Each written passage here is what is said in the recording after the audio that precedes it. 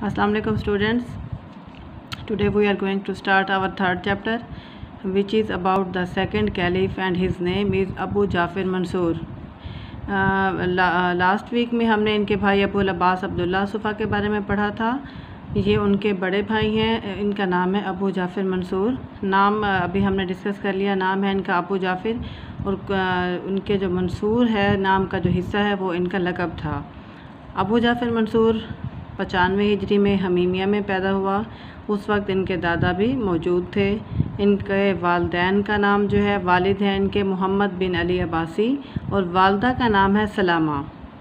First lecture में मैंने आप लोगों को एक्सप्लेन किया था कि आप लोगों ने इनके पेरेंट्स के नाम स्पेशली याद करेंगे, क्योंकि जितने भी भाई होंगे तो इनकी सबकी वालदाओं के नाम जो हैं वो अलग अलग होंगे। जैसे कि अबू अब्बास की वालदा का नाम हमने पढ़ा था, रायता अल हारसिया वो वालिद हैं मोहम्मद बिन अली अब्बासी तो मंसूर भी इनके वालिद का नाम मोहम्मद बिन अली अब्बासी ही है, लेकिन इनकी जो वालदा थी, उनका नाम है सलामा, जो कि बहुत आबिद और जाहिद खातून थी, और इन ये बरबरी नस्ल की एक लौंडी थी। घर का माहौल इनका बहुत अच्छा था। अबू जाफ़िर मंसूर को शुरू से ही लिखने पढ़ने का बहुत शौक़ था, लिहाजा इन्होंने बहुत ज़्यादा इल्म हासिल किया। खलीफा ये उस वक्त बने जब इनके भाई अबू अब्बास का इंतकाल हुआ और उनका इंतकाल हुआ था सात सौ चौवन में और उस सात सौ चौवन में ही अबू अब्बास की वफ़ात के बाद अबू जाफ़िर मंसूर दूसरे अब्बासी खलीफा बने। उस वक्त ये मक्का मुकरमा थे, हज करने के लिए गए हुए थे। जब इनको अपने भाई की वफ़ात की खबर मिली तो फ़ौर वहाँ से मक्का से ये कोफा, अगर कोफा में ही इन्होंने अपनी खिलाफत की, बैत की जाम मस्जिद में। अबू अब्बास ने भी वहीं बैत की थी और इन्होंने भी कोफा की। जामा मस्जिद में अपनी खिलाफत की बैत की। सात सौ चौवन में ये अब्बासी खलीफा बने, दूसरे अबासी खलीफा और इनकी जो अंबार का जो कस्बा है हाशमिया, वहाँ पर इन्होंने अपनी हुकूमत स्टार्ट की और वहाँ पर अपनी खिलाफत का जश्न भी मनाया। इनकी जो मुद्दत हुकूमत है वो है उन्नीस साल। जब ये खलीफा बने तो बेशुमार मुश्किल थी, क्योंकि इनके जो पहले वाले, इनसे पहले खलीफा थे अबू अब्बास उनकी मुद्दत हुकूमत तकरीबन पाँच साल है तो वो बहुत सारे मसाइल को भी हल नहीं कर पाए थे और उनकी जो थी फोत हो गया। उसके बाद जब ये खलीफा बने तो बहुत ज़्यादा मुश्किल थी, जिनमें सबसे पहला जो मसला है वो था इनके अपने ख़ानदान का, यानी कि बनु अब्बास की बाहमी आवेजिश। आवेजिश कहते हैं बच्चों, कशमकश को आप लोग जानते हैं कि बनु अब्बास के आपस के ख़ानदान में ही बहुत सारे ऐसे लोग थे जो कि खिलाफत के दावेदार भी थे। और वो इस दावा करने में हक बजानब भी थे। इनमें जो सबसे बड़ा दावेदार है वो उनके अपने चचा थे, जिनका नाम है अब्दुल्ला बिन अली। अब्दुल्ला बिन अली अबुल अब्बास के, अबू जाफ़िर मंसूर के चचा थे और जंग ज़ाब के फ़ातह भी थे। जंग ज़ाब हम बहुत दफ़ा डिस्कस कर चुके हैं, जो कि ये 25 जनवरी 750 ईस्वी को दरिया ज़ाब के किनारे लड़ी गई। बनु अब्बास और बनु उमैया के दरमियान उस वक्त सिचुएशन ऐसी थी कि कोई भी बनु अब्बास की तरफ़ से हिम्मत नहीं कर पा रहा था। जंग करने की लिहाजा अबुल अब्बास ने ऑफ़र की थी कि जो इस जंग में जाएगा, फ़ातह करार पाएगा, उसको मैं अपने बाद अपना जानशीन बनाऊँगा। तो उनके चचा थे अब्दुल्ला बिन अली, जो कि जंग ज़ाब के फ़ातह भी हैं। उन्होंने जो है जंग लड़ी और इसमें वो फ़ातह भी हुए। अब उन्होंने दावा किया, खिलाफत का तो बहुत सारे लोगों ने उनकी इस बात की तस्दीक भी की कि वाकई ये बात ठीक थी। इसके बाद इनका अंजाम क्या हुआ? अब्दुल्ला बिन अली के फात मंसूर ने क्या किया? In next day we will discuss it today we are going to only discuss their problems and issues second issue है बच्चों, वो है अबू मुस्लिम खुरासानी और उसके हमनवा।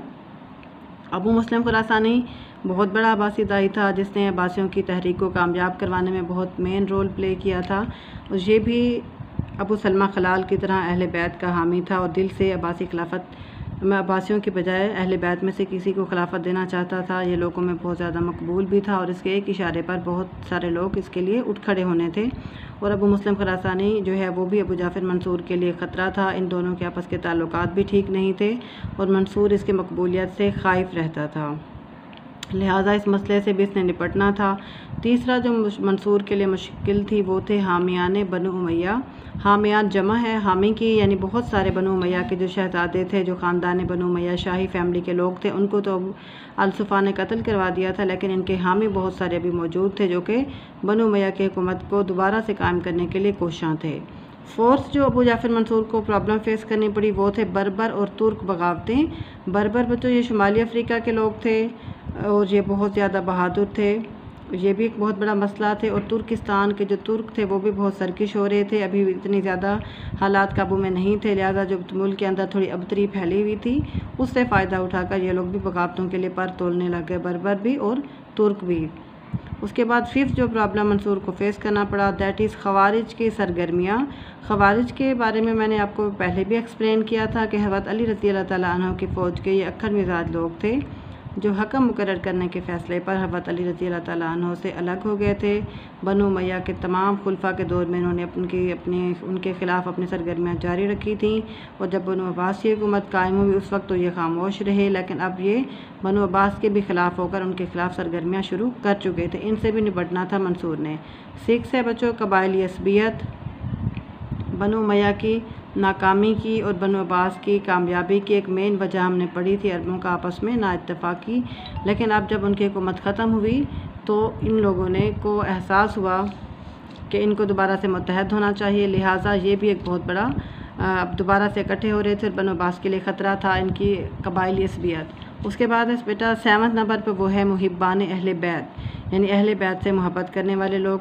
From the very first day in our first chapter we have already discuss it के अहले बैत से मोहब्बत की वजह से लोगों ने अब्बासियों का साथ दिया था और अब्बासियों ने भी अपनी तहरीक जो है वो अहल बैत के नाम पर चलाई थी। ठीक है, इनके मुहिबान अहल बैत के दो बहुत बड़े सरकर्दा लीडर कह लें या जो लोगों में बहुत ज़्यादा मकबूल थे और ये दो वो थे जिन्होंने अब्बासी खिलाफत क़्याम में भी मेन रोल प्ले किया था। The first one is Abu Salama Khallal जो कि अब्बासियों का पहला वज़ीर भी था, ठीक है, अहल बैत से मोहब्बत करता था और इसका जो लकब था वो आल बैत रसूल भी कहलाता था ये। तो इसका जो है मुहिबान अहल बैत जो है, एक से ताल्लुक़ की बिना पर अबू अबू सलमा खलाल बनो अब्बास के लिए बहुत बड़ा ख़तरा था और अबू अब्बास ने इसको रास्ते से हटवा दिया। दूसरा जो हामी था, बहुत बड़ा और जो कि लोगों में बहुत ज़्यादा मकबूल भी था, वो हैं अबू मुस्लिम खुरासानी। और अबू मुस्लिम खुरासानी को रास्ते से हटवाया था अबू जाफ़िर मंसूर ने। इन हम कल इसको डिस्कस करेंगे डिटेल में। तो मुहिबान अहल बैत भी बनो अब्बास के लिए ख़तरा थे, क्योंकि ये वो लोग थे जो कि अब्बासी खिलाफत को क़याम में जिनका मेन रोल था। एट्थ नंबर पर था रूमी ख़तरा। रूमी ख़तरा सर पर मंडला रहा था। इससे भी मंसूर को निपटना था। रूम के साथ अरबों का मुस्तकिल तौर पर बनो अब्बास का बॉर्डर था। और ये आगे भी हम फर्दर देखते रहेंगे कि इन्होंने मुसलमानों के ख़िलाफ़ बनो अब्बास के ख़िलाफ़ अपनी सरगर्मियों को जारी रखा। उसके बाद नंबर नाइन, जो एक बहुत बड़ा इशू था।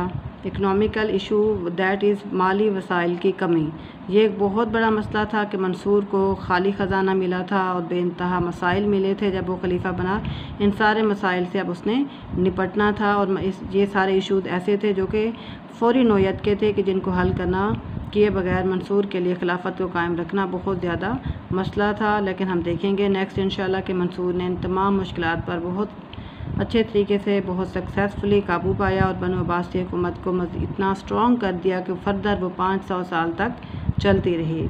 Now we are discuss some objective question which are also very important as a whole if we see our third chapter which is about Abu Jafar Mansour total chapter is very important according to objective point of view and as well as long long Qs मारूसी के हवाले से हम एक चीज़ discuss कर लेते हैं, वो है कि अबू जाफ़र मंसूर ने खिलाफत का रूहानी तस्वुर या रूहानी नज़रिया पेश किया था। या अब्बासी हुकूमत को खिलाफत का लबादा या रूहानी नज़रिया किसने दिया? जो have to write Abu Jafar Mansour. यानी इसने बनो मैया वालों ने, जो पहला उनका खलीफा था, अमीर माविया रती अल्लाह ने वैली क्लियरली बता दिया था कि मैं अरबों का पहला बादशाह हूँ। यानी उन्होंने अपनी हुकूमत को खिलाफत नहीं कहा था, बल्कि हुकूमत ही कहा था, लेकिन अबू जाफ़िर मंसूर ने हुकूमत को खिलाफत का लिबादा उड़ाया और यही वजह थी कि सदियों तक अवाम इनके जो है एज़्ज़त और एहतराम लोगों के दिलों में रही। तो ये पहला खलीफा जिसने रूहानी नज़रिया पेश किया, बनो अब्बास का, वो हैं अबू जाफ़िर मंसूर। सेकंड हम जा रहे हैं कि बनो खिलाफत बनो अब्बास का, जो बानी है, वो तो है अबू अबू अब्बास अब्दुल्ला सुफ़ा। लेकिन बनो अब्बास का जो हकीकी बानी कहा जाता है, वो कहा जाता है अबू जाफ़िर मंसूर को।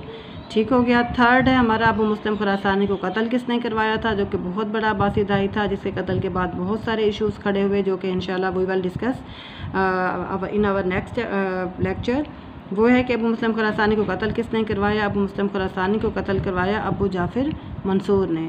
आज के लिए हमारा इतना इनफ है। In further we will discuss further points. अल्लाह हाफिज़।